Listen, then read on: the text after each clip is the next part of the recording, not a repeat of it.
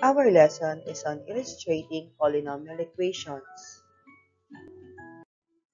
The polynomial equation is expressed in the form of a sub n times x raised to n. In here, a is the coefficient, x is the variable, and n is the exponent.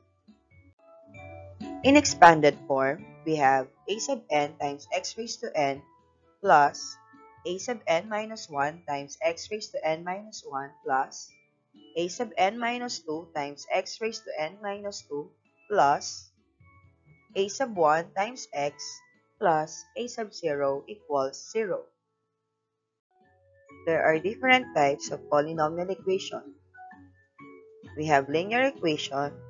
It's an equation which has only one variable term. It can be expressed as ax plus b equals 0 where a and b are real numbers. Example, 2x plus 1 equals 0. The next type is a quadratic equation. It's an equation which has only two variable terms. It can be expressed in the algebraic form as ax squared plus bx plus c equals 0. Example, 5x squared plus 2x plus 1 equals 0. The next one is called cubic equation. It's an equation which has only three variable terms. Example, x cubed plus 2x squared plus x plus 4 equals 0. We also have quartic equation. A polynomial of degree 4, it has also 4 real roots.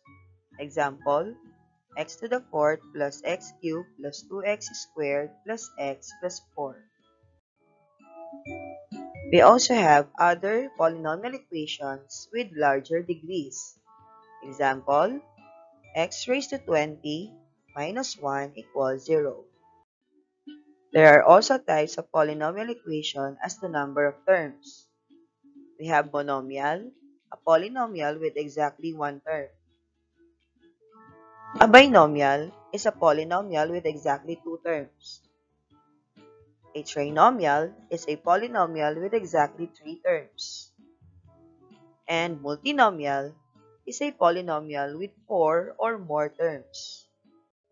We must remember that a polynomial must not have the following. A negative exponent on its variable, variable in the denominator, fractional exponent on its variable. Let us try to identify whether the given expression is polynomial equation or not. For number 1, we have x plus 2 equals 0. Is it polynomial or not? This one is a polynomial equation, and it is an example of a linear equation. For number 2, we have x squared plus 5 over x. This one is not a polynomial because it has a variable in the denominator. For number 3, we have y raised to negative 3 plus y plus 2 equals 0. This one is not a polynomial since it has a negative exponent. For number 4, we have square root of x minus 5 this one is not a polynomial because the exponent of x is 1 half. And last number, we have 1 half x squared minus 1. This one is a polynomial equation and it is an example of a quadratic equation. Now, let us try to write a polynomial equation in standard form. We have to write the terms in decreasing powers of the variable. For example, we have 3x raised to the fourth minus 4 minus 2x squared plus x. So, the first term would be 3x raised to the fourth power since 4 is the highest degree, followed by negative 2x squared, and then positive x, and then negative 4. So the standard form is 3x to the fourth minus 2x squared plus x minus 4.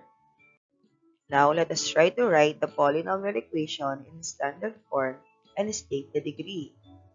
For number 1, we have x cubed minus x to the fourth minus 4x plus x squared plus 5.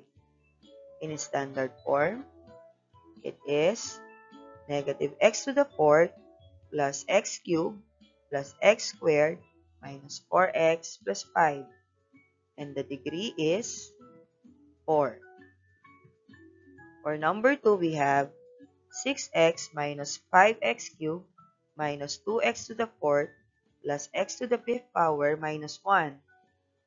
In standard form, it is x to the fifth power minus 2x to the fourth minus 5x cubed minus 6x minus 1.